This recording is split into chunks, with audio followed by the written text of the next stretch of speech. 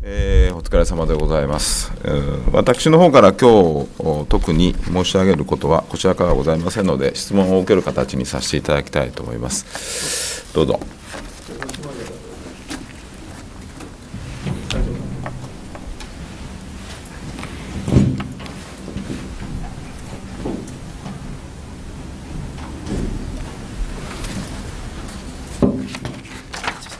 共同斉藤です。はいどうもえー、っとあ大臣の連休の原因っていうの関係ですが、はい。はい、ああのご覧の通りでまだあ正式確定しておりません、はい。えー、現在までですね、はい。えー、国会側がどういう対応をしているのかその状況そして外務省の取り組み状況ですね、えー、そして副大臣としての外遊に対するお考え方についてご説明いただきたいと思います。はい。あのー、今ご指摘のとことについては今後の審議がまだどういう形になるかも決まっていないということで、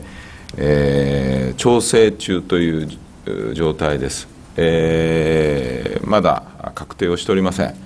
えー、まああの重要な会議がいくつかありますので、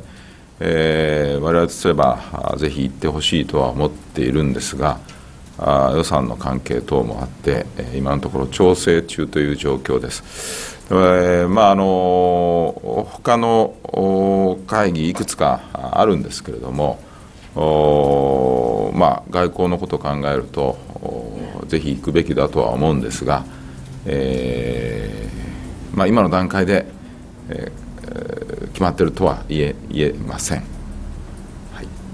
関連した斉藤さん共同サイトです、はい、今の件ですけれども、はい、えもう少し具体的にですね、うん、できれば一般のあの方も分かるような形で説明していただきたいんですがすなわち松本大臣が訪米できないと、うん、え我が国にとってどういうデメリットが、うん、影響が及ぼすのか、はい、日米関係にどういう影響ができているのか、はい、そしてベルリンの会合でないとですね、えー、日本の存在感どういう影響を受けるのか、うん出ない場合、どういう影響が出るかということについてですね、もう少し具体的にお願いします。はい、わ、はい、かりました。あのこれ、日米のことについては、特に、えー、今回の震災で、えー、米側からあ、えー、いろいろなご支援をいただき、今も、まあ、あのいろいろな部分で協力をしていただいております。まあ、このことも含めて、今後の、これまでのお礼も含めて、え、今後の対応も考えればあ、ぜひ行くべきだという声はたくさんいただいております。からあのベルリンの会議、それからあセネガルのティカードと、ティカードは特にあの松本大臣が議長という立場でございますので、えー、オープニングには行かないとちょっとまずいんではないかというような声もいくつかいただいてます。そういう意味で、えー、この連休中、向こうはあの連休ではありませんので、えー、通常のカレンダーで、えー、海外はやっておりますからさまざまな国際会議がございます、えー、当然あの大臣として出席をしていただいて今回の地震へのお礼とそれから福島原発等の風評被害でさまざまな影響が出ておりますけれども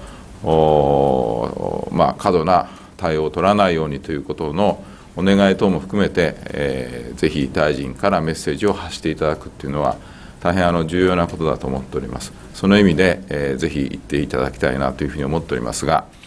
えー、まあ、あのただ一方で、え、この震災対応の補正予算の審議、採決というような日程が、この連休中、も休みに関係なく組まれるという話も一方であってその場に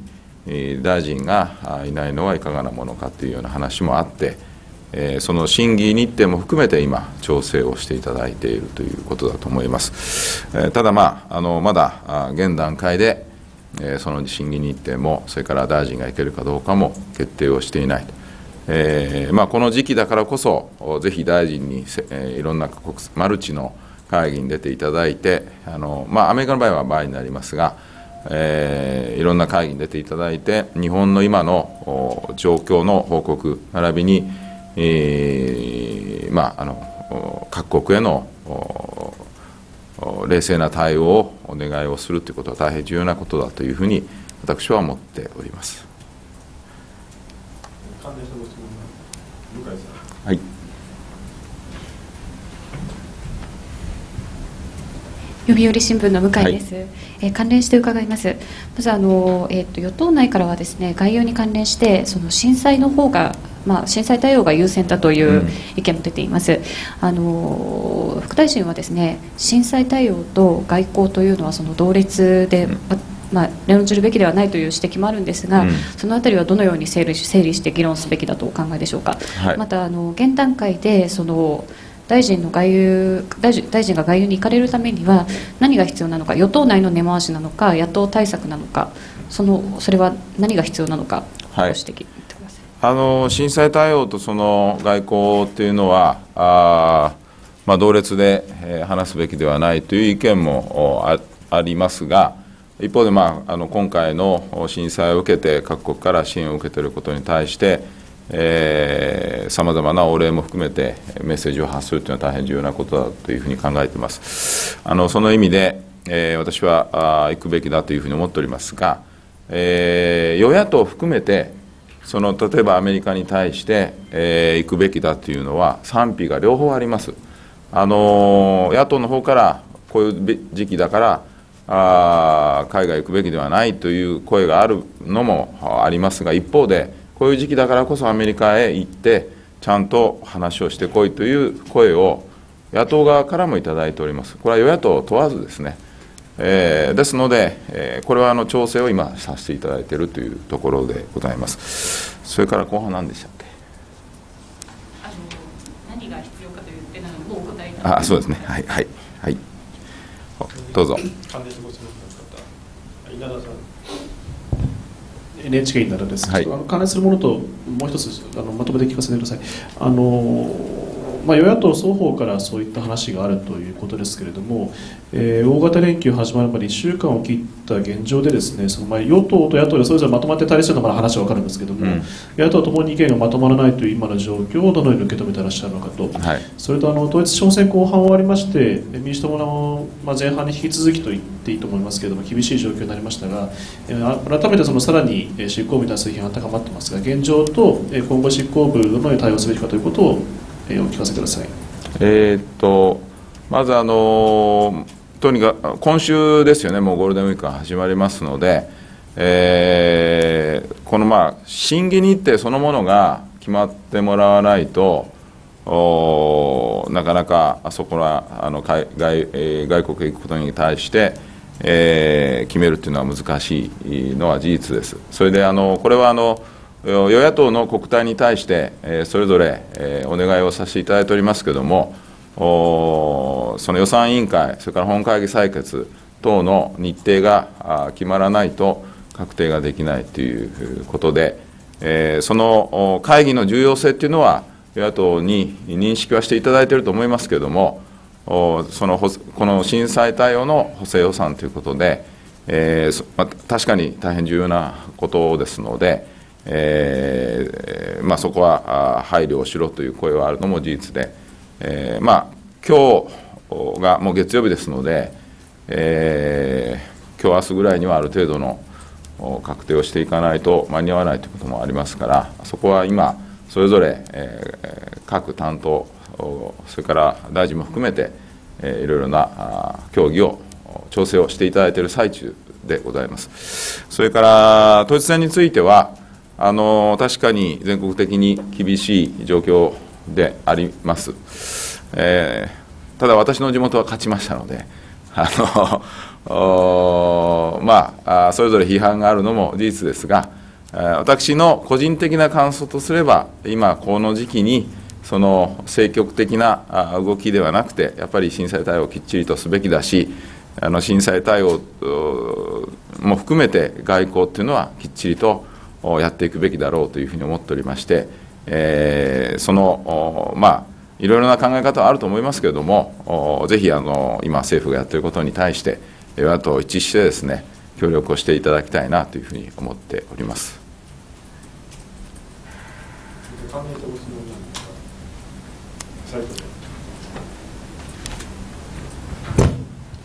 先ほど斉藤です、はい、すみません。あのあの関連なんですがあのその外務大臣の、うん、えー、予算委員会等の出席をめぐってはですね、はい、あの今回の震災にかかわらずかあの前からですね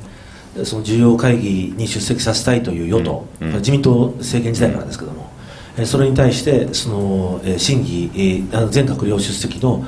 関連に基づき出席すべきであるという野党の議論がずっと続いてきました、でこれは政権交代後もこの議論というのは全然質が変わってない、今度は自民党が出席しようと求めている番で,、で岡田さんの時も前原さんの時もですね、できるだけそこをなんとかしてくれない。かという話がありました。でまた今回、震災起きましたけれども、この議論ですね、全閣僚出席のこの慣例、えー、変えた方がいいのかどうか。でそして検討すべきか検討すべきなのかどうかですね、うん、この点についていかがお考えになりますでしょうか？はい。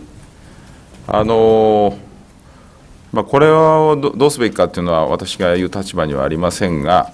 あの私が経産の政務官をやっている時もいわゆるインフラ輸出等の外交というのが結構ありましたがあなかなかその国会の日程で出れないということによく遭遇をいたしました、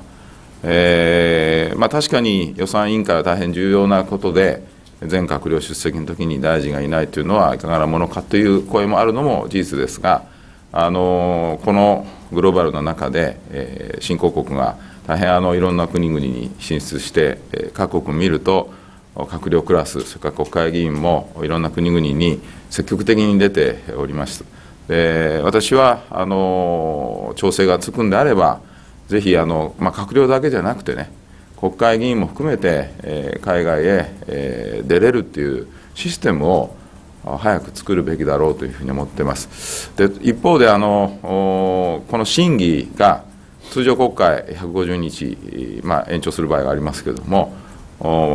どちらかというと、もう通年国会のような形を取らざるを得ないときに、その枠に閉じこもってしまうと海外への日本の売り込み等を含めてですね、え利益が損なわれるんではないかというふうに思ってます。あのこれはあの個人的にですねあのですのであの私はそういう仕組みを早く作るべきだろうとこれはあの野党の方々もそこの重要性は非常に分かっていると思います。あの閣僚だけじゃなくて、えー、国会議員が海外へ出る場合にあのこれ大変あの長いあの時間をかけて、えー、例えば議運であったり、えー、7日以上は本会議決議等がいるとかですねさまざまなあ手続きがいります。でこれをあの大変あの本会議優先だとか予算委員会優先というのは予算委員会含め各委員会優先というのはこれはそれはそれはあのそれそれで重要なことだと思っておりますがあぜひあのこの仕組みをですね何かうまい方法がないのかなと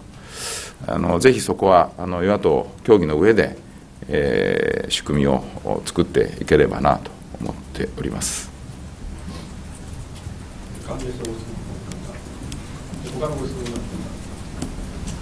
よろしいですか？以上で記者会見をしていただきはい、ありがとうございます。